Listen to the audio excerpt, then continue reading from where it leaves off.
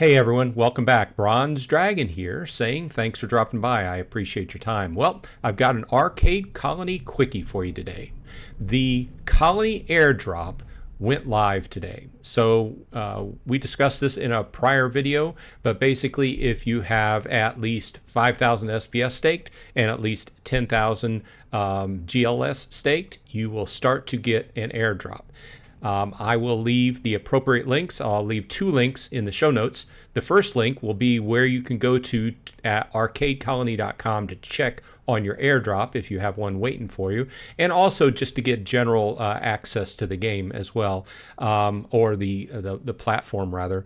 Um, and also the second link is going to be for the explanation about the airdrop. So let's go ahead and jump over there for a minute and um, basically Khan redid or somebody redid and Khan posted the um, more information about the airdrop. Okay, uh, about a month or two ago when we were talking about it, we didn't have the full information. It's still a little bit cloudy, but we'll go through the basics and keep this nice, short, and sweet. Okay, so we have one billion colony tokens. Okay, part of that, 4.76 percent of the max went into the initial fork. That's done.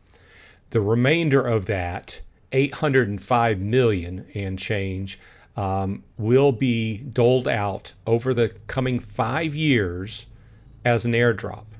And here's the thing um, it's starting out low, and as time goes along, it will build up. And I've got a, they've got a chart for you here, but they also, you know, basically restate what I just said. Um, 50% of the airdrop will be allotted to SPS holders, and 50% will go towards GLX holders. And as I've said before, due to the amount staked, I think you get more uh, of the colony drop per GLX uh, compared to SPS because there's a lot more SPS stake than what there is GLX. So we've talked about that before.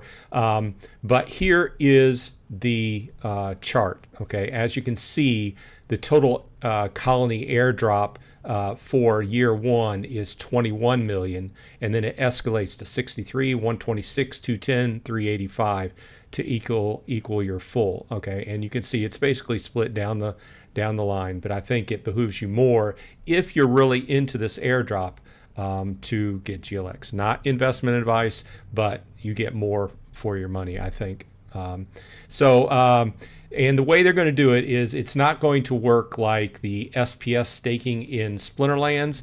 There's just going to be one snapshot per day. And it's at 1400 UTC or 12 p.m. Eastern Standard Time. Um, and they said that 28,800 colony will be airdropped every day for the first year. And then obviously it'll go up.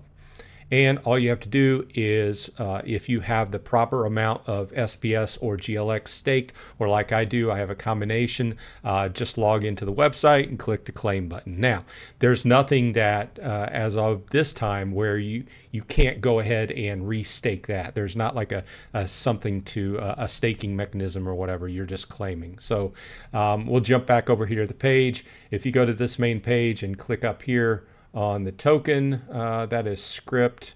Uh, here is the colony token, um, this little three balls icon.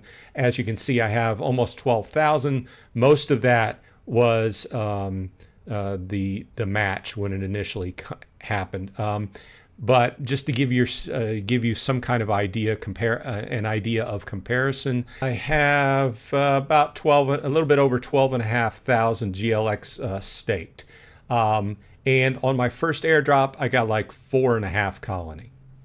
So a lot of people jumped into uh, chat in Discord and was like, wow, this is low. But it, when you read through the explanation, it's meant to start out low and build up uh, as time goes along. Um, they're trying to push the idea of being in it for the long haul, uh, which I am. I like. Uh, I've done videos on this before. I like the whole idea about Arcade Colony, so I don't foresee myself burning through this or using it up any. In fact, as time goes along and my SPS bag uh, goes up at, at slowly, that's the way I've been doing it.